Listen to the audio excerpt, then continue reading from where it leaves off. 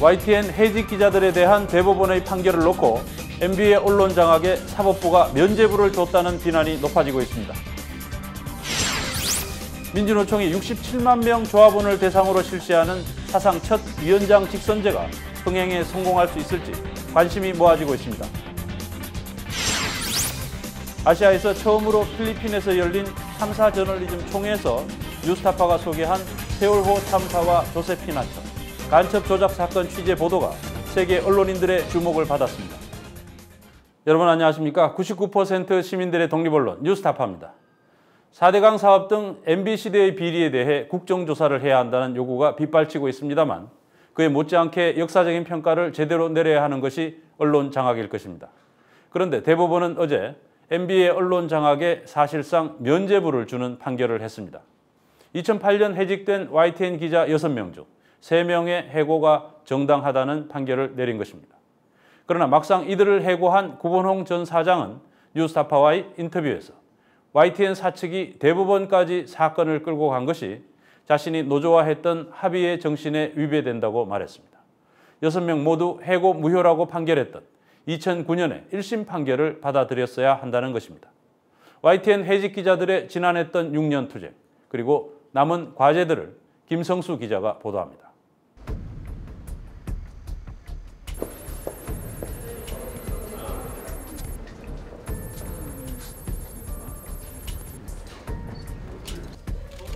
2008년 10월 대량 해고 사태 이후 무려 6년 만에 대법원 판결이 순식간에 끝났습니다. 법적으론 회사로 돌아갈 수 없게 된 세 사람. 이들을 두고 먼저 복직하게 된 세 사람. 또 반드시 돌아오리라 굳게 믿고 있던 동료들.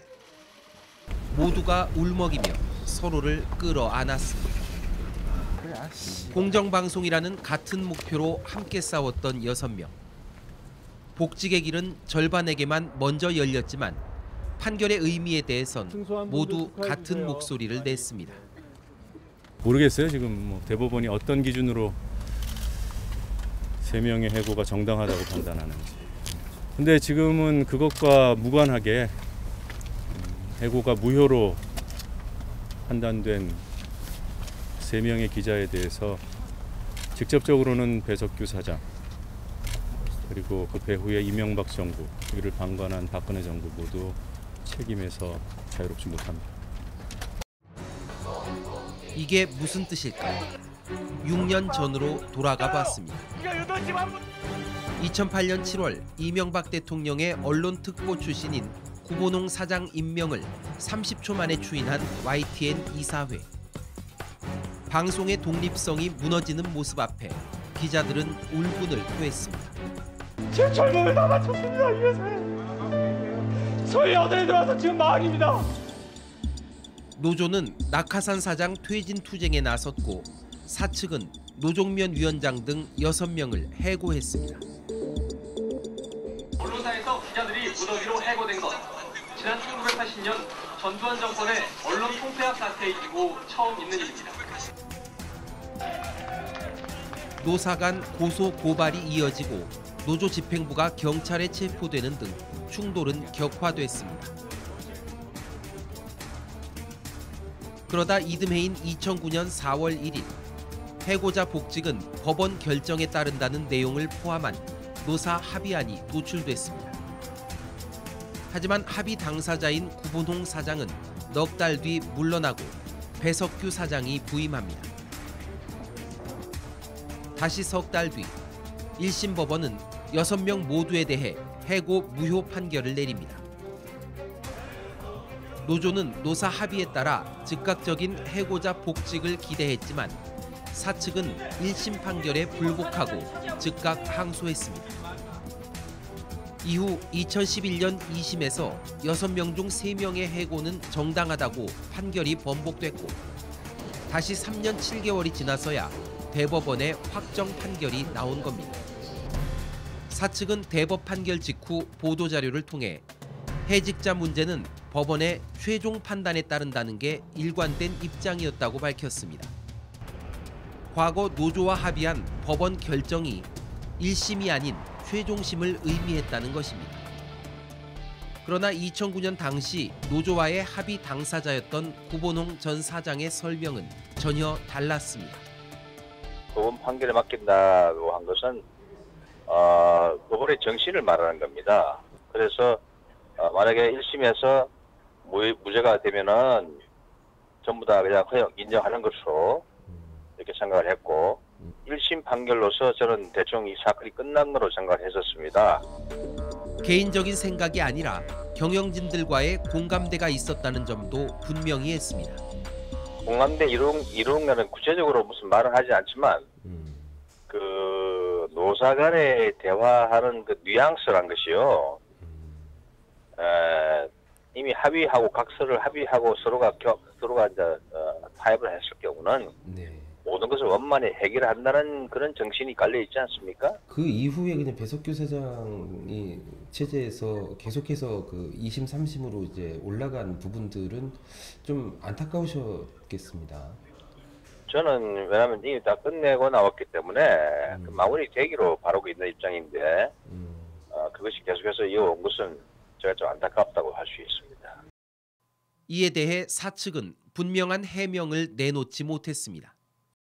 당시에도 법원의 판결을 따른다는 거였지 그게 1심 판결이냐 2심 판결이냐 그건 그때 그 당시는 안 나왔던 부분이고요. 근데 그거를 그 당시 구, 구사장께서는 본인도 그렇게 생각했고 경영진하고도 그런 교감을 이뤘다라고 저희한테 얘기를 하셨거든요. 그분은 전 사장께 여쭤보시죠. 지금 저희 현재 여기 우리 현재 입장에서는 거기까지 저희가 말씀을 드릴 수 있는 상황이 아니거든요. 결국 구본홍 사장의 합의를 후임 배석규 사장이 뒤집었다는 얘기로 해석됩니다. 실제로 지난 3년여 동안 노조는 해직자 문제 해결을 위한 기구를 수차례 제안했지만 사측은 노조의 사과가 먼저라며 계속 거부했습니다. 해고자들이 복직됨으로 인해서 자기들이 갖고 있는 어떤 음, 어, 이득, 뭐 기득권 이런 것들에 위협을 받는다고 느꼈을지 모르겠죠. 기회가 있었음에도 불구하고 이렇게까지 오게 된 거는 해직자 당사자들뿐만 아니라 전체 이 YTN이라는 조직에 엄청난 그 해가 되고 있죠 지금. 사측의 합의 파기와는 별개로 이번 판결은 보도의 공정성을 지키려는 언론인의 노력에 대해 사법부가 재갈을 물린 것이라는 비판이 높습니다. 1심 재판부는 해직 기자들의 행위가 공정보도라는 공적 이익을 위한 것이어서 사회 통념상 해고 사유가 되지 않는다고 판결했습니다. 그런데 항소심과 대법원은 비록 공적 이익을 위한 목적이었다 해도 사측의 해고가 사회 통념상 징계 재량권을 남용한 것으로는 볼 수 없다고 판단했습니다. 똑같은 사회 통념이라는 개념을 1심에선 언론의 공공성에 맞춰 적용한 반면 2심 이후엔 단순한 노사 관계로만 한정시켜 적용한 셈입니다. 순수한 사법적 판단이라고 보지 않고요. 그 정치적인 의도가 많이 배, 스며든 판단이라고 보고요. 이 사람들은 공정보도를 하자고 해서 해고된 사람들이고 그 사람들은 오늘 또 어, 사법적으로 해고를 확정시켜 주는 것이 저는 공정보도에 대한 살인 행위라고 저는 봅니다. 이에 따라 역시 낙하산 사장의 전횡에 맞섰다가 해고된 MBC 기자와 PD 7명에 대한 1, 2심의 해고 무효 판결도 결국엔 뒤집힐지 모른다는 우려도 나오고 있습니다. 이명박 정부 들어선 다음에 대법관 판사가 전부 다, 다 바뀌었습니다. 그래서 대부분 다 굉장히 보수적인 성향의 판사들로 이루어져 있고요. 이미 판결이 나온 뭐 쌍용차나 철도노조 어, 그리고 이번 YTN 어, 판결까지 이 모두 다 지금 MBC 문제랑 어느 정도 연관성이 있다라고 보고요. 우리 문제에 있어서도 그래서 어, 상당히 우려를 하고 있어요 지금. 이명박 정부의 방송 장악 신호탄이었던 2008년 YTN 대량 해고 사태. 그 이후 YTN의 보도는 어떻게 달라졌을까?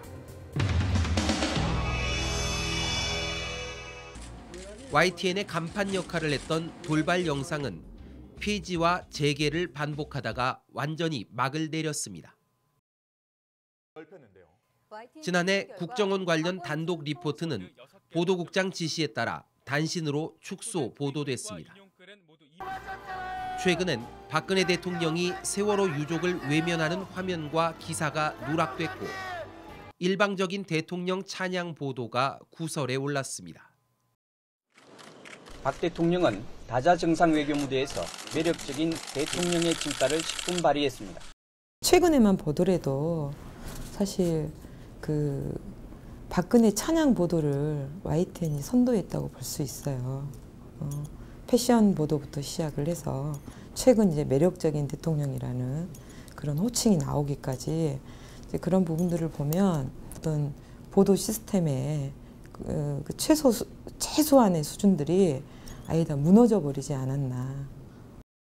이런 결과는 YTN 현직 임원들이 이명박 박근혜 정부의 청와대 홍보수석으로 잇따라 발탁되면서 예견된 것이었다는 평가가 나옵니다. 홍보수석이라는 위치에 있다 보니까 YTN의 뭐 보도국장이나 사장을 임명할 때 거기에 직간접적인 영향력을 행사를 한단 말이에요.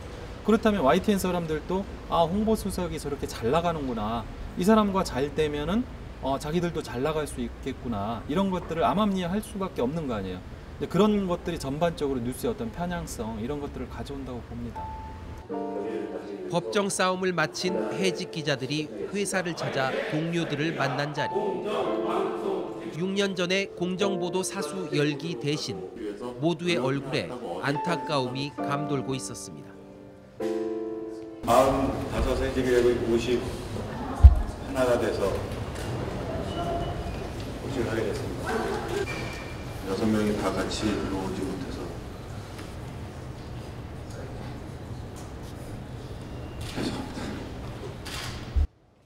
그러나 무너진 YTN을 다시 세우기 위해 무엇을 해야 하는지 분명히 교감하고 있었습니다.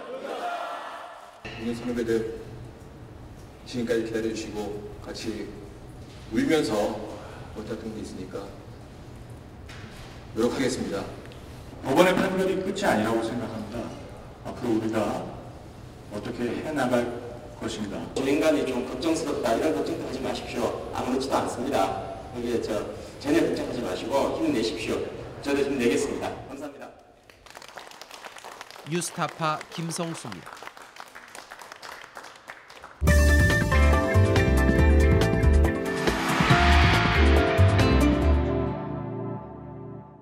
민주노총이 설립 이래 처음으로 직선제를 통해 위원장을 선출합니다.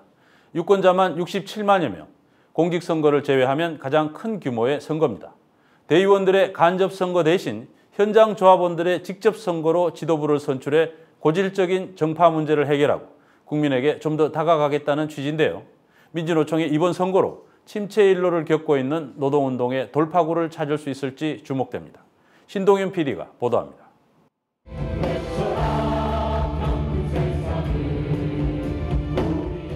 전국 단위의 노동조합 단체가 지도부를 직접 선거로 선출하는 것은 세계에서도 드문 일입니다. 1990년 민주노총의 전신인 전국노동조합협의회 설립 이래 처음 있는 일종의 사건입니다. 유권자만 67만여 명. 공직선거를 제외하고는 한국 사회 최대 규모입니다. 직접적인 선거를 통해서 직접 민주주의죠. 우리 조직의 수장을 우리 손으로 직접 선출하자. 그리고 어, 지도부 지도부의 지도력을 강화해 나가자라는 그런 취지가 있는 거죠. 민주노총에서 직선제 논의는 10년 전부터 시작됐지만 선거 비용과 선거인 명부의 신뢰성, 부정선거 시비 등의 우려로 오랫동안 시행되지 못했습니다. 직선제로 바꾼 가장 중요한 이유는 이제 선거 결과가 전체 조합원의 뜻보다는 소수 대의원들의 뜻이 관철되는 경우가 많았다. 간선제보다는 직선제가 전체 조합원의 뜻을 반영하는 후보가 선출될 가능성이 높다 이렇게 본 거죠. 이번 선거에는 위원장, 수석 부위원장, 사무총장 등 3명이 짝을 이뤄 모두 4개 팀이 출마했습니다. 현장 조합원들은 기존 간접 선거 때보다 관심이 높아졌다며 긍정적인 반응을 보였습니다. 일반 투쟁 사업장의 그 세세한 부분까지 관여를 해주고 어, 해줬으면 좋겠다는 생각은 늘 해오, 해오고 있는데 사실 저희 현장에서도 민주노총 단위에서의 어떤 것들이 크게 와닿지는 못하는 상황이어서 그것들은 직선제로 하면 조금 아무래도 좀 긍정적인 효과가 있을 것 같다라는 생각이 듭니다. 네 팀의 후보가 한 목소리로 강조한 것은 비정규직 문제 해결입니다. 일상적인 해고와 저임금 등에 시달리는 비정규직 노동자가 계속 확산되고 있지만 민주노총이 제 역할을 하지 못하고 있다는 비판이 높기 때문입니다. 우리 조직률이 10%대에 이르고 있고 비정규직은 900만에 이르고 있습니다. 우리 대표성이 많이 떨어지고 있습니다. 다시 돌려놓지 못하면 민주노총이 이제 전진할 수 없다고 판단하고 있습니다. 이 900만에 이르는 비정규직 노동자들을 조직하기 위해서 민주노총에서 인적 물적 지원을 강화하고 지역 본부를 훨씬 더 강화시키도록 하겠습니다. 대기업 정규직 노동자들이 비정규직 노동자들과 함께 최저임금 인상 투쟁이라든가 그들의 그 근로기준법을 지키는 그런 투쟁에 함께 투쟁에 나서야 합니다. 아, 인력과 재정을 넘어서서 정규직 노동자들이 최저임금 인상 투쟁이라든가 아, 권리와 또 인권과 아, 그들의 노동 기본권을 위한 투쟁에 나서고 투쟁 방식에 대한 의견 차이는 있지만 노사 문제를 넘어서 국민적인 공감대를 넓히겠다는 의지도 공통적으로 밝혔습니다. 노사 간의 문제를 이미 넘었습니다. 그래서 박근혜 정권과 이 문제를 단판 짓지 않을 수 없고 그 단판의 과정까지 우리는 총파업을 조직하고 있는데 저는 반드시 성사시킬 것입니다. 그리고 한국 사회에서 노동자들이 더 이상 이렇게 짓밟히는 대상이 아니라 이 사회를 정확히 건강하게 지켜나가는 아주 중요한 한 축임을 이제는 선언하는 2015년을 만들겠다. 어, 국민들이 민주노총이 주장하고 요구하는 바가 정말 내 삶과 직결된 그런 요구들이구나. 어, 민주노총이 실천하고자 하는 행동하고자 하는 그런 내용들이 예, 나와 무관하지 않고 어, 나와 같은 어, 이해관계를 갖고 있다고 하는 것들을 적극적으로 선전하고 홍보해서 어, 공감할 수 있도록 만들어내겠습니다. 지난해 12월 경찰의 민주노총 본부 침탈 6년을 끌어온 쌍용차 정리해고 합법 판결 갈수록 벌어지는 정규직과 비정규직의 격차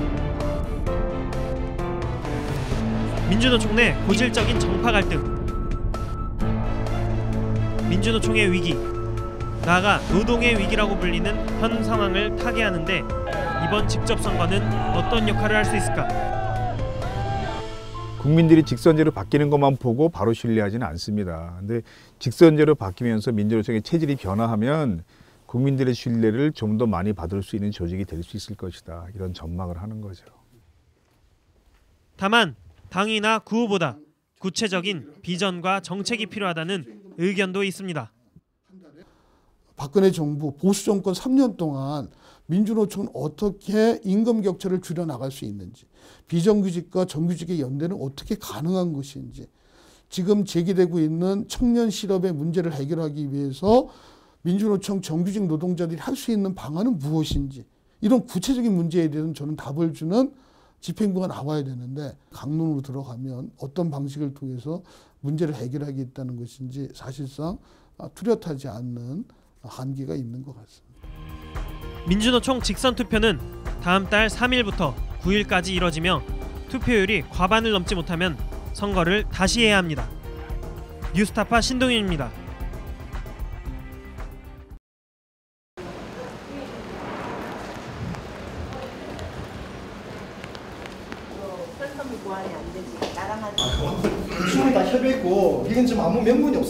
10월 27일 날 한 달 전에 이 장소를 공 예약했어요. 영업 장소에서 이러시면 안 되죠.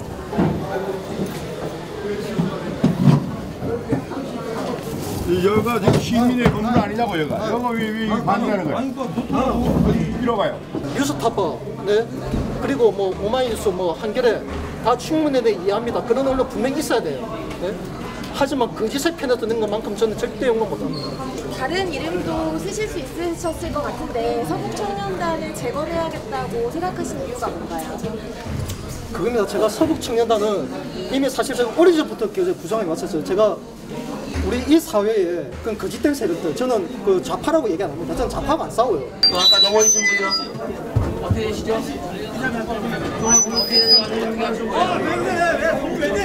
카페에다 이제 또 이거 저기 위험할 수 있으니까. 야 이거 뭐 이거? 뭐 이거? 뭐 하지마. 당신이 뭐야? 당신이 뭐야? 단체만 이 새끼 단체. 당신 없어서 나온 단체만 빨리 해라 그거 아니야? 잠시만 잠시만 잠시만 잠시만요. 진정하십시오. 골정도에서 선비과장입니다. 자, 여러분 기자 여러분 잠깐 뒤로 물러주십시오.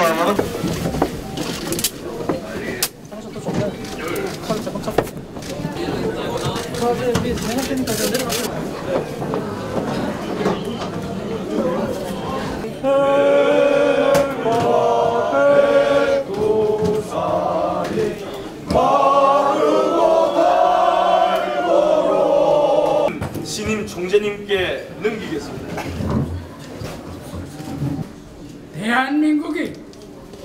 하늘에서 떨어진 나라가 아니고 땅에서 솟은 나라가 아닙니다. 우리가 38선을 넘어온 서북 청년들이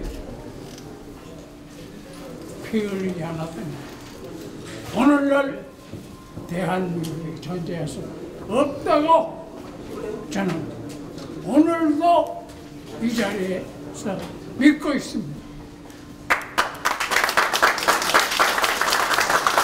찍습니다. 하나, 둘, 셋. 대한민국 자유민주주의 수호 만세! 만세! 만세! 만세! 대한민국 종북 좌파 세력 척결 만세! 만세! 지난 22일부터 3일간 필리핀 마닐라에서 제1회 아시아 글로벌 탐사 저널리즘 총회가 열렸습니다. 아시아뿐 아니라 전 세계 32개 국가에서 약 300여 명의 언론인들이 참석했는데요.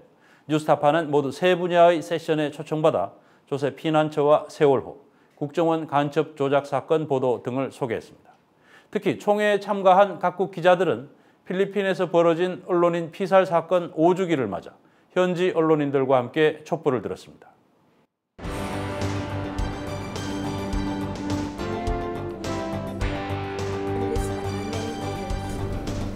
Clear to me that speaking truth to power is an Asian value. In many of our countries, journalists have played an important role in the democratic transition. 필리핀 탐사 저널리즘 센터 설립자이자 미국 컬럼비아대 언론대학원 학장인 실라 코로넬은 탐사 보도가 세상을 보다 나은 방향으로 바꿀 수 있다고 강조합니다. In many countries, watchdog journalism has to fight for space in a competitive media market ruled by the sensational and the superficial. Whatever metaphor we choose to describe ourselves, our task is to show exactly where the wrongdoing lies and why it needs to be corrected. 아시아권에서는 처음으로 열린 글로벌 탐사 저널리즘 총회. 전 세계 각지에서 세계 언론인 300여 명이 이곳 필리핀 마닐라에 모였는데요. 여기 뉴스타파도 참여했습니다. 뉴스타파는 비영리 독립 언론기관으로서의 그 역할과 그동안의 주요 보도 내용을 소개하는 자리를 가졌습니다. 전 재산이 29만 원이라면서 추징금 납부를 거... 지난해 5월부터 지금까지 50여 차례 보도가 이어진 조세 피난처 취재 과정 발표는 각국 기자들의 열띤 반응을 이끌었습니다. Our story on Chen's uh, family uh, sparked huge public uh, demand for a collection of Chen's unpaid fines. Reporting collaboration between ICIJ and KCIJ for offshore leaks project was about promoting not only tax justice but also social justice in Korea.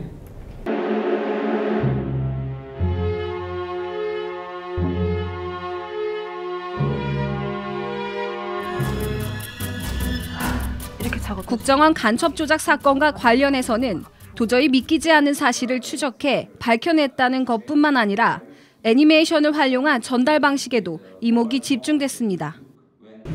Yeah, first of all, the reporting you do is very interesting and very exciting. Um, the way how you present it is very cool. Um, I mean, the animated stuff you did about this um, this uh, girl who was forced to um, to denounce her brother.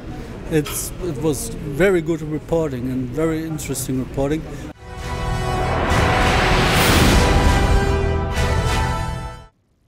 세월호 참사 관련 보도에도 청중들의 관심이 집중됐습니다. Several ferry disasters uh, greed of capital, the alliance of government officials and the shipping industry through revolving door, and the reg- regulation relaxation, and the government uh, incompetence. Worst disaster in history uh, with the combination of all these factors. It also shows how things could get terrible when media does not play its role as a watchdog and keep the public informed. That's why we need investigative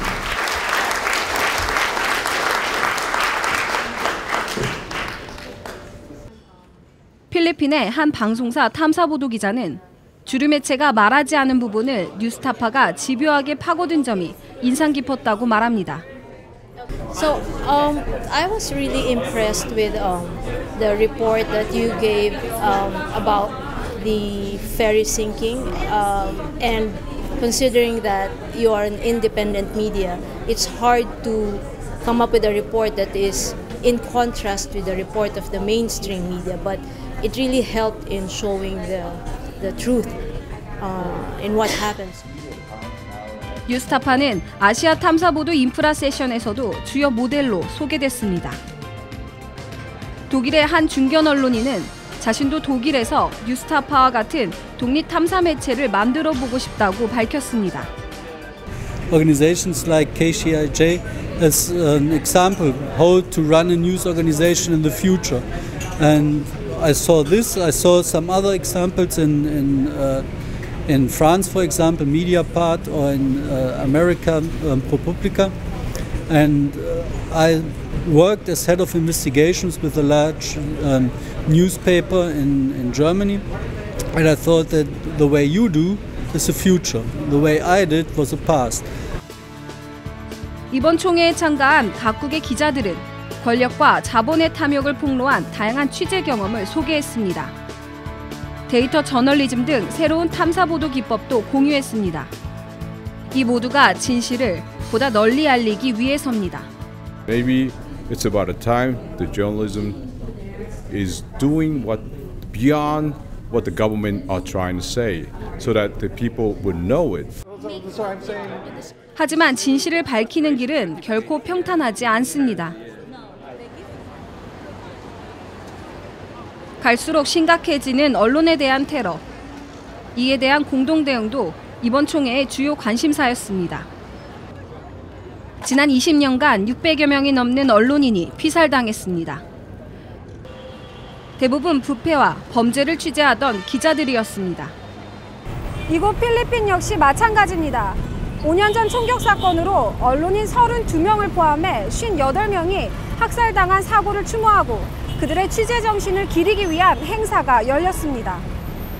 all over the Philippines and we are uh, denouncing the the continuing impunity in the Philippines and we are demanding the Kinuj regime to immediately uh, answer our uh, to answer our demands and give justice not just for the victims of Pampatuan massacre but to all the victims of human rights violations. 총회에 참가한 기자 300여 명은 진실을 알린다는 이유로 언론인이 목숨을 잃는 일은 더 이상 일어나선 안 된다며 함께 촛불을 들었습니다. We live in a fear because since 1986, a total of 145 journalists, 145 journalists had been killed. Of the 145 killed, more than half filed their last stories focusing on corruption and local crime. 하지만 독재자 마르코스를 타도한 민중혁명의 광장에 타오른 수백 개의 촛불은 테러로는 결코 진실의 입을 막을 수 없다는 것을 또렷이 보여줬습니다. 이번 마닐라 총회 참가자들은 탐사 보도의 가치를 공유하기 위한 아시아 지역 탐사 저널리즘 연대 조직을 설립하기로 결의했습니다. 뉴스타파 김세봄입니다.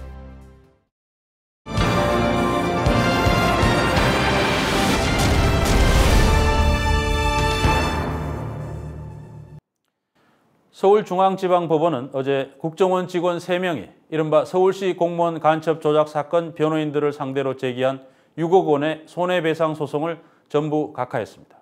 또한 국정원 직원을 대리한 변호사들에게 소송 비용을 부담하라고 판결했습니다. 매우 이례적인 판결입니다.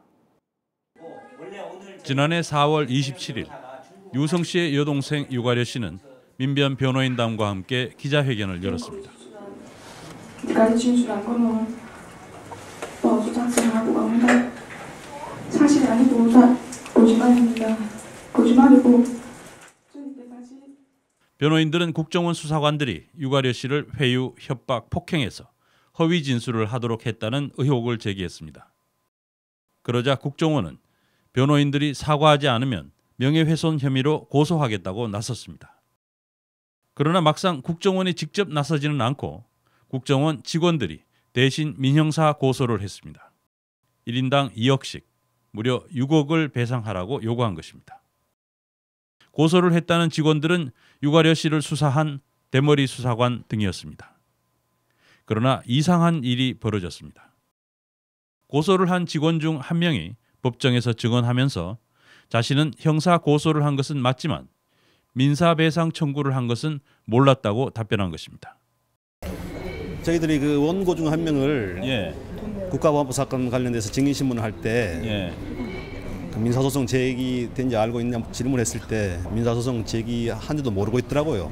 당사자가 원고임에도 불구하고 그 민사소송 제기된 걸 모르고 있었습니다. 그러니까 아마 이게 그 조직에서 어, 돈을 대고 소송을 진행한 것으로 보입니다. 민변 변호인 단 측은 국정원 측에 소송을 제기한 사람들이 국정원 직원으로서 명예훼손을 당했다는 것을 입증하라고 요구했습니다. 그러나 국정원 측 변호사들은 원고인 국정원 직원들의 주민등록 번호와 주소도 밝히지 못했습니다. 결국 이번 판결에서 재판부는 국정원 직원이어서 신분을 노출할 수 없다고만 할 뿐 소송 대리권을 수여받은 걸 증명할 어떤 자료도 제출하지 않았다면서 국정원 측의 청구를 각하했습니다. 또한 소송 비용은 국정원 측 변호인들이 부담하라고 결정했습니다. 안 돼요. 아니, 아니 왜 이러세요? 왜 이러세요? 초상권 침해를 아니, 무슨 초상권 국정원은 국가기관으로서 간첩 조작을 저질렀을 뿐 아니라 그 범죄 행위를 밝히려는 변호인들과 언론인들을 끊임없이 공격해 왔습니다. 법원이 지난번 뉴스타파 취재진에 대한 국정원 직원들의 손해배상 청구를 기각한 것에 이어 변호인단에 대한 청구를 아예 각하한 결정이 의미하는 바를 국정원은 새겨할 것입니다. 이러한 민변을 공격하는 시도 자체가 어, 소위 말해 터무니없고 흠집내기 시기였다라는 것이 밝혀진 게 아닌가 생각이 듭니다. 아울러서 지금 뭐 변호사들에 대한 민변 변호사들에 대한 징계 청구나 어, 다른 별건 기소나 수사 이런 부분들도 어, 결국에는 어, 민변 변호사들을 흠집내고 또는 변론권을 위축시키려고 하는 그런 의도들이 아닌가 생각됩니다. 박원순 서울시장에 대한 소송을 포함해서 지금까지 국정원이나 국정원 직원들이 제기한 소송들은 대부분 기각되거나 각하됐습니다. 박원순 서울시장에 대해 국정원이 소송을 제기한 것이 기각되자 이후에는 직원들이 대신 소송을 하는 쪽으로 전략을 바꿨지만 그마저도 모두 패소해 왔습니다. 특히 이번 각하 결정은 국정원 직원들이 명예훼손의 객체가 될 수 없다는 것을 분명히 보여주고 있습니다. 부디 국정원이 충분한 교훈을 얻어서 더 이상 무분별한 소송을 남발하지 않기를 바랍니다. 오늘 뉴스타파 여기서 마치겠습니다. 감사합니다.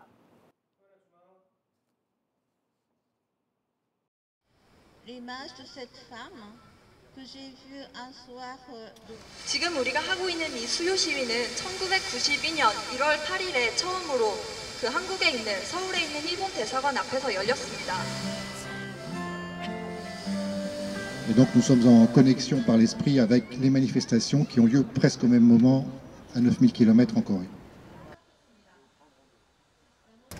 그저 바라는 것은 앞으로 여러분들 후손에게는 다시는 나와 같이 험한 꼴을 당하는 일이 없도록이 세상을 살아줬으면 감사하겠습니다.